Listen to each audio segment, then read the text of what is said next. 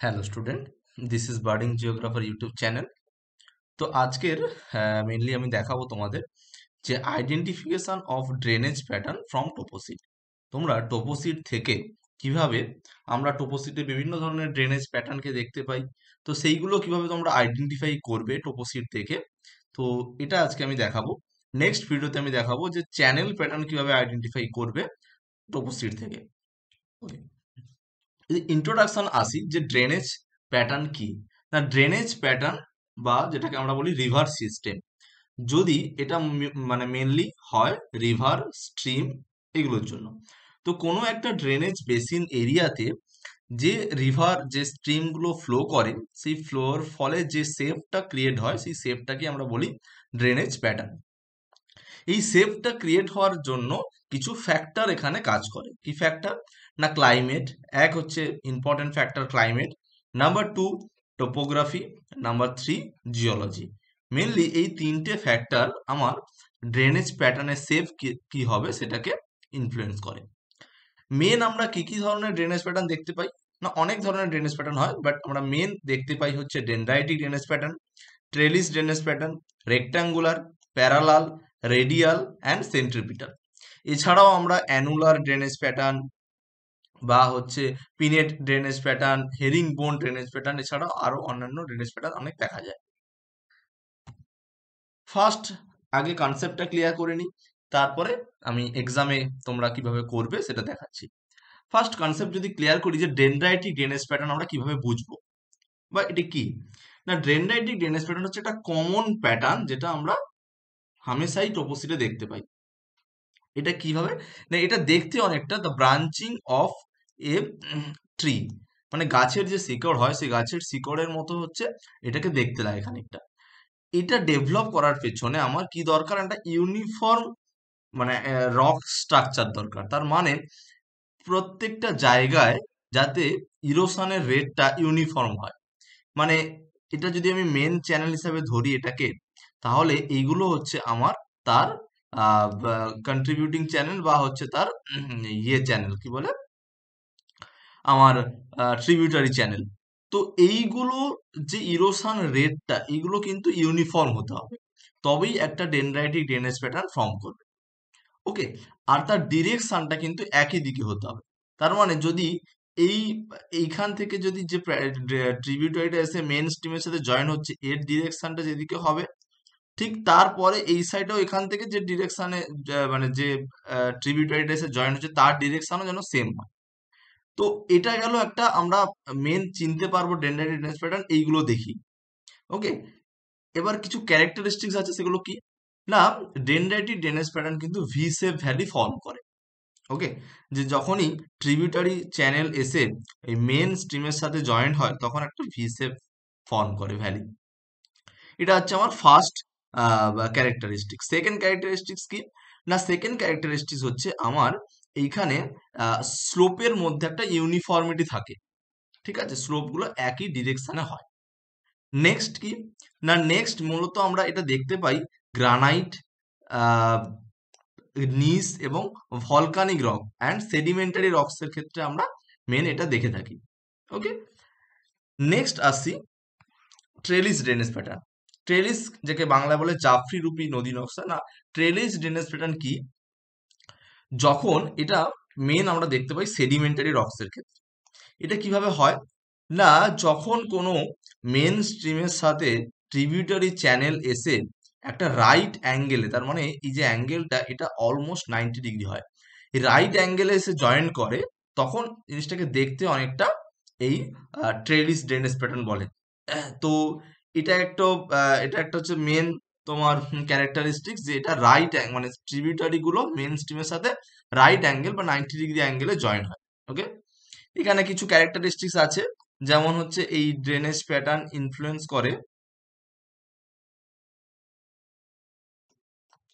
এই drainage pattern they can help to improve water quality as the streams are more likely to filter through soil before reaching the main stream তো এই এই ক্যারেক্টারিস্টিক্সগুলো তোমরা একটু দেখে নেবে। তো এইগুলো আমার মেনলি দেখা যায়। They increase the risks of flood then হচ্ছে stream more likely overflow during heavy rain যখন প্রচণ্ড পরিমাণে বৃষ্টি হয়, তখন এখানে প্রচণ্ড পরিমাণে ওভারফ্লো দেখা যায় এই ড্রেনেজ সিস্টেমে নেক্সট হচ্ছে radical drainage pattern radical drainage pattern কি?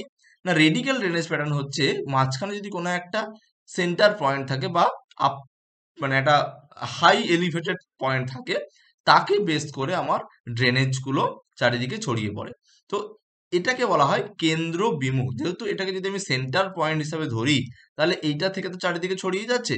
তাই এটাকে বলা হয় বাংলায় বলে কেন্দ্র বিমুখ নদী নকশা বা এটাকে বলা হয় the radical radial drainage pattern okay main এখানে আমরা দেখতে পাই যেটা হচ্ছে, সেটা হচ্ছে ভলক্যানো দেখতে পাই এই রেডিক্যাল ড্রেনেজ সিস্টেমে এগুলো খুবই সহজে চেনা যায়। যদি আমি টপোসিটির ক্ষেত্রে দেখি, তোমরা এখানে দেখতে পাচ্ছ, এই জায়গাটা হচ্ছে একটা হাইয়েস্ট পয়েন্ট বা পিক পয়েন্ট যাকে বেস করে আমার স্ট্রিমগুলো চারিদিকে ফ্লো করছে।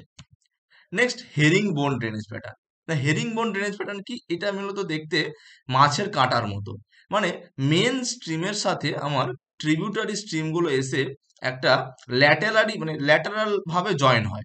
তাই জন্য এটাকে আমরা বলি হেরিং বোন ড্রেনেজ প্যাটার্ন এটাকে দেখতে ভি সেপ ভ্যালি হয় মানে ফর্মটা করে ভি সেপ ভ্যালি যখন মেন স্ট্রিমের সাথে ট্রিবিউটারি এসে জয়েন হয়, এটাকে ভি সেপ ভ্যালি ফর্ম করে। Okay next rectangular drainage pattern কি?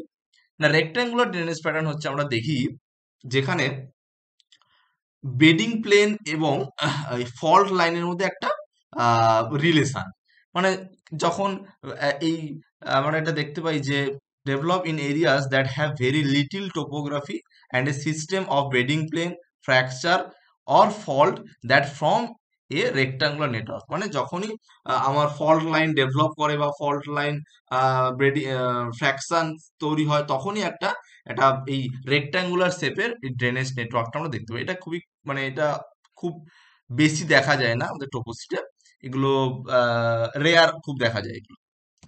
Next parallel and sub parallel drainage pattern parallel drainage pattern কি? না প্যারালাল ড্রেনেজ প্যাটার্ন হচ্ছে যখন মেন স্ট্রিমের সাথে ট্রিবিউটারি স্ট্রিমগুলো এসে প্যারালালি জয়েন করে।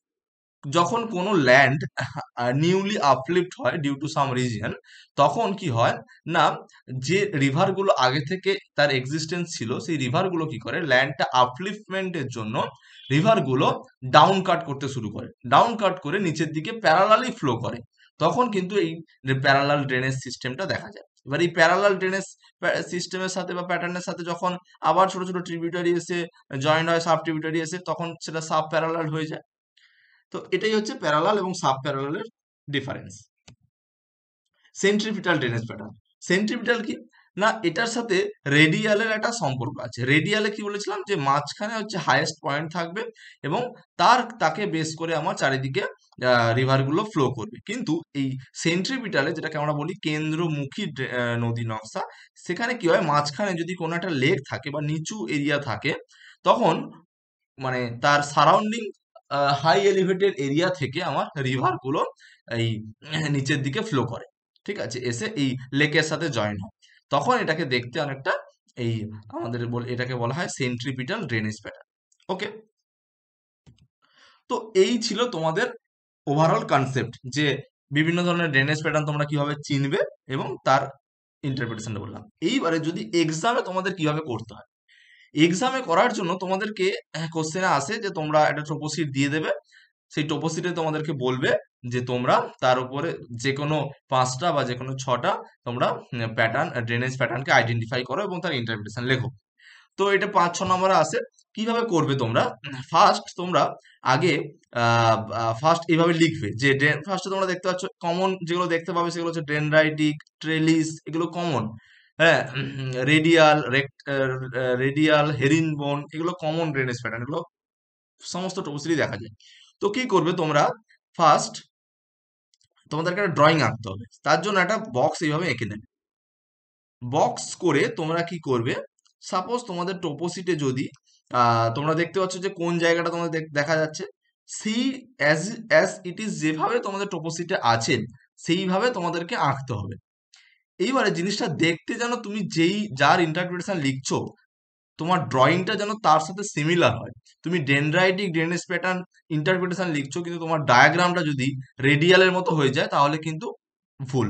তোমাকে অ্যাটলিস্ট তুমি সেটাকে একটুখানি চেঞ্জ করতে পারো, যাই করতে পারো, কিন্তু ডায়াগ্রামটা যেন তোমাকে ডেনড্রাইটিক ড্রেনেজ প্যাটার্নই লাগে। তুমি যেটা লিখছো ইন্টারপ্রিটেশনে সেটাই যেন ডায়াগ্রামে দেখতে লাগে। তো কি করে ফার্স্টে তোমরা ব্ল্যাক কালি দিয়ে ফার্স্টে ব্ল্যাক মাইক্রোটিপ দিয়ে এই ড্রেনেজগুলো তুলে নিলে স্ট্রিমগুলো ওকে তুলে নেওয়ার পর তারপরে তোমরা এই কন্টুর যে লাইনগুলো আছে, সেইগুলোকে তোমরা ব্রাউন পেনে তোমরা যে মানে যতটা সিমিলার করা যায় টোপোসিটের মতো করে। সেইভাবে তোমরা এঁকে নিলে। নিয়ে তার সেখানে সেই সেখানে যদি কোনো জায়গার নাম থাকে, সেই জায়গার নামটা লিখলে বা যদি কোনো ভেজিটেশন থাকে, সেই ভেজিটেশনগুলো লিখ, দিলে। এইভাবে দেওয়ার পর এই একটা ব্রাউন কালারের শেড দিয়ে দেবে এই কন্টুর লাইনগুলোর উপরে। কিন্তু স্ট্রিমগুলো তোমরা ব্ল্যাক পেনই করবে, ঠিক আছে?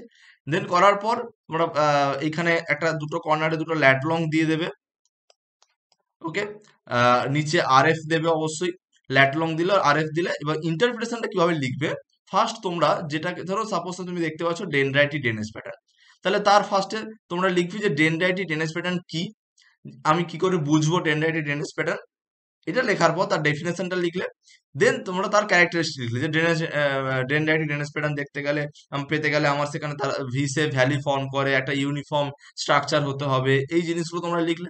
লেখার পর মেন তোমাদের যেটা লিখতে হবে ইন্টারপ্রিটেশনে যে তুমি তোমার ওই টোপোসিটে কোন জায়গায় এই ডেনড্রাইটিক ড্রেনেজ প্যাটার্নটা দেখতে পাচ্ছ? সেটা তোমাকে লিখতে হবে যে তুমি কি সেটা নর্থ ইস্টার্ন পার্টে দেখতে পাচ্ছ? টোপোসিটের না সেন্ট্রাল পার্টে দেখতে পাচ্ছ? না সাদার্ন পার্টে দেখতে পাচ্ছ? এই জিনিসটা তোমাকে লিখতে হবে যে তুমি কোন পার্টে এই ডেনড্রাইটিক ড্রেনেজ প্যাটার্নটা দেখতে পাচ্ছ। এতটুকু করেই তোমাদের ইন্টারপ্রিটেশন লিখতে হয়। এইভাবে তোমরা যে যে কটা তুমি, যে কতগুলো তোমরা দেখতে পাবে ড্রেনেজ প্যাটার্ন সেই কথা লিখবে। পাঁচ থেকে ছটা লিখলেই হয়। এই ছিল তোমাদের আজকের টপিক তোমরা কীভাবে ড্রেনেজ প্যাটার্নকে আইডেন্টিফাই করবে? টোপোসিট থেকে এবং তার ইন্টারপ্রিটেশন কীভাবে লিখবে বা তার ড্রয়িং কীভাবে করবে ওকে নেক্সট ভিডিওতে আমি দেখাবো কীভাবে তোমরা চ্যানেল প্যাটার্নকে আইডেন্টিফাই করবে টোপোসিট থেকে এবং তার ইন্টারপ্রিটেশন আমি দেখাবো। Thank you